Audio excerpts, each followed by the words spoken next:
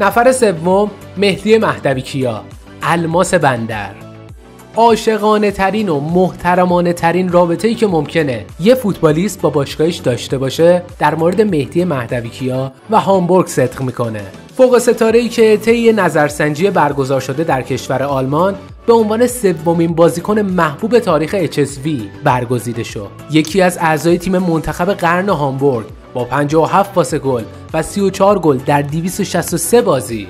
گفتن مجدد داستان پادشاهی کیا در دومین شهر بزرگ آلمان نیاز به قدرت کلمات نداره.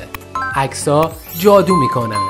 از شبی که اون برابر یوونتوس با ستارهایی مثل وندرسار، زیدان، داویدز، دلپیرو و اینزاگی بهترین بازیکن زمین شد. یه گل زد، یه پنالتی گرفت و یه پاس گل داد تا روزی که پراگر بر پای کیا بوسه زد. مهدی در این صحنه می‌تونست خودش گل بزنه اما به پراگر پاس داد تا اون هتریکش رو کامل کنه و هنگام شادی یکی از ماندگارترین قابهای تاریخ فوتبال ایران رو بسازه.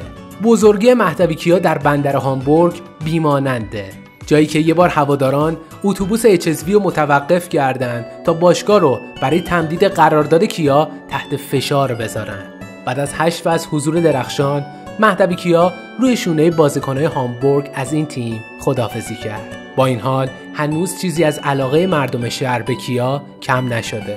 بیخود نیست که موشک توپ طلای آسیاش رو به موزه این باشگاه تقدیم کرده.